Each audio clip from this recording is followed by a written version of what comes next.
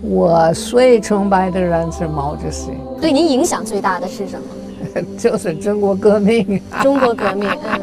他二十七岁前为美国造核弹，二十七岁后却跑到中国放了一辈子的牛。他的出走被美国人骂成是逃走的原子间谍，而他就是中国首位拿到绿卡的外国人韩春女士。问他为什么放弃核物理事业来到中国时，他却说：“为什么这个小美加步枪，他的那个力量比那个原子弹还大？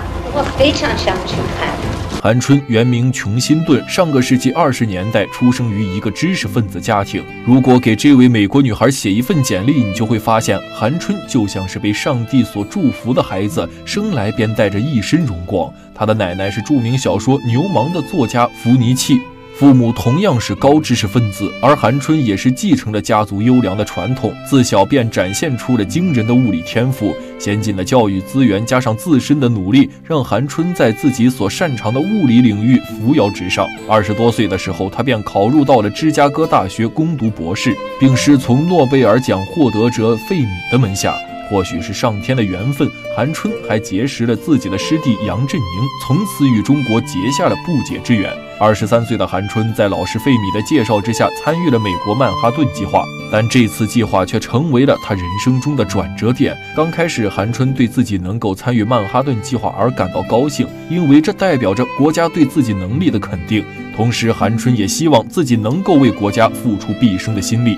然而，这一切美好的祝愿全在美国向日本投放了两颗原子弹戛然而止。韩春亲眼目睹了两颗蘑菇云带走了十五万无辜民众的生命，这不禁让他的内心产生了自我怀疑。对于韩春而言，科学是用来造福全人类，而不是用来毁灭人类。如果科学的成果变成了杀人的工具，那么自己又是否会成为一名刽子手？而这次爆炸也深深刺痛了韩春内心的温暖与善良，他从未想过这种结局。经过此事之后，韩春的耳边常常充斥着远方的悲鸣。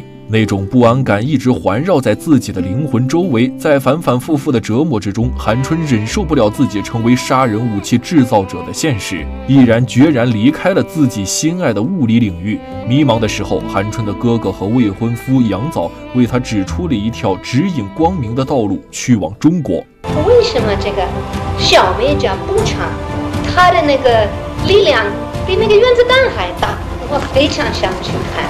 他是第一位拿到中国绿卡的外国人，曾为美国研究出第一颗原子弹，后半辈子却来到中国放牛，被称之为牛奶界的袁隆平。一九四八年三月，韩春带着期待、迷茫的心情来到了中国，在这里，他看到了人人平等、自由的生活，看到了民众为国家富强而做出努力。通过百姓民众，韩春了解到中国这个多艰多难又自强不息的国家。此时的韩春已经被热情高涨的中国农民所感染。整个国家都在朝这一个方向而做出努力。虽然说当年是中国最穷苦的时代，但这确实是人民信仰最坚定的时代。此时，韩春的内心便出现了一个声音：留下来。有了新信仰之后，韩春便开启在中国的新篇章。二十世纪五十年代，韩春和杨早这对夫妇在宋庆龄的安排之下，找到了让其为之奋斗终身的事业——奶牛养殖事业。韩春从美国顶尖的物理学家到中国的放牛人，这一。跨度的领域对于任何人来说都是无比艰难，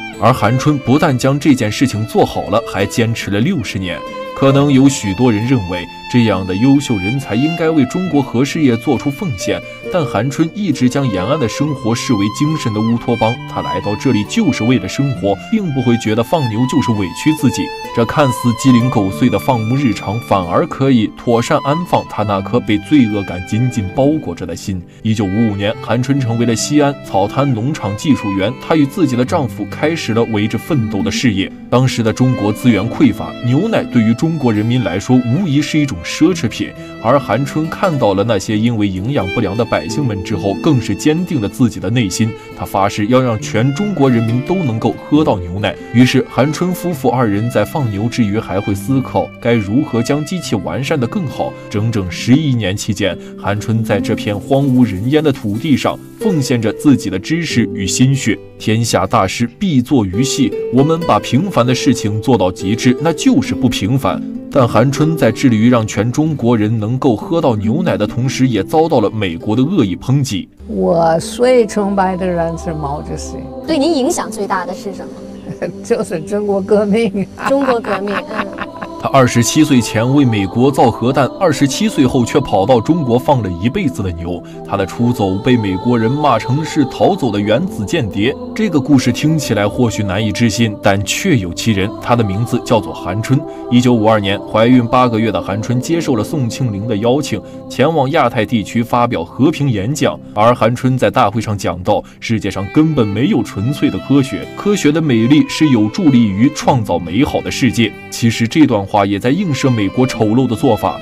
很明显，韩春这一演讲深深刺痛了当时的美国，而美国在议员麦卡锡领导下的右翼势力在国内掀起了大规模的反共浪潮，以至于韩春的家里人都受到了美国的监视，而韩春也被美国带上了原子间谍的名号。说他叛逃到中国是为了建造原子弹。虽说这铺天盖地的谣言随着太平洋的寒流席卷到中国，但韩春却没有放在心上，甚至觉得美国的做法一点意思都没有。后来，韩春夫妇一路从技术员晋升为了牛奶副厂长，更是将自己改造的机器售卖近一百万元，并且还将科学的养殖理念传输给每一个牛奶厂工人，对我国牛奶品质和机器改良的工作中贡献了巨大的价值。